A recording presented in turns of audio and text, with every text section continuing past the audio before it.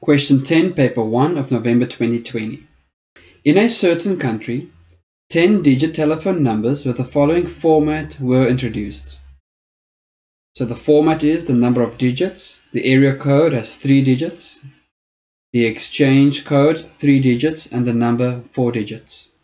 For example, 901 544 1230 and it also says that digits may be repeated. How many possible 10-digit telephone numbers could be formed? So a telephone number consists out of 10 digits and there are 10 possible digits. So it's 10 to the power of 10. Next up it says certain restrictions were placed on the groups of digits. The area code, which consists out of three digits, must be three digits, and the first digit cannot be 0 or 1. The exchange code, which is the next three digits, must be three digits, and the first and second digits cannot be 0 and 1 as well. And the number must be four digits and the first digits must be a 0 or a 1. Now the question says, how many valid 10-digit telephone numbers could be formed by applying the given restrictions? So let us deal with each restriction separately. We have the area code, the exchange code, and the number. We know that the area code must consist out of three numbers. So only the first digit cannot be a 0 or a 1. So it can be any other digit. So there are 8 more options left, meaning 2, 3, 4, all the way up until 9.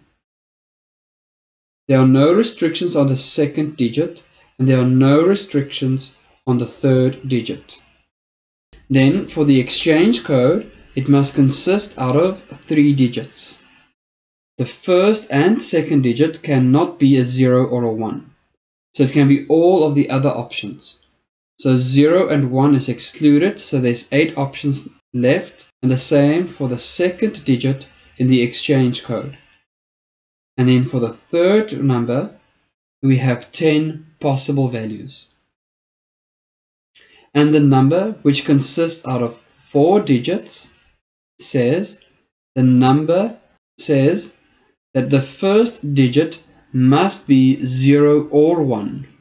So now this first digit is restricted to 0 or 1. So that is two options. And the remaining options has 10 numbers. Therefore, the total valid number of digits is 8 times 10 times 10 times 8 times 8 times 10 times 2 times 10 times 10 times 10. And if we multiply out, we'd find that this is 1.024 times 10 to the power of 9. The next question reads, determine the probability that any randomly chosen 10-digit telephone number will be a valid telephone number. So we found that the amount of valid numbers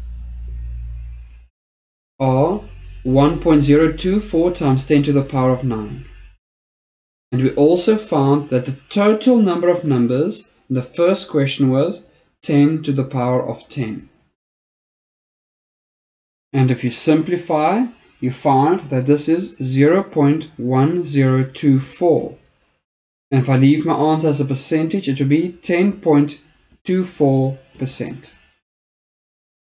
And this is the probability of a phone number being valid.